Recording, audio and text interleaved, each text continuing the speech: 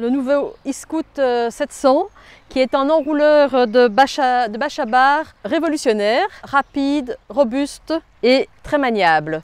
Donc euh, il y a un seul bouton qui permet d'ouvrir la bâche, très facile d'utilisation et il tient tout seul debout, super facile au niveau de l'utilisation.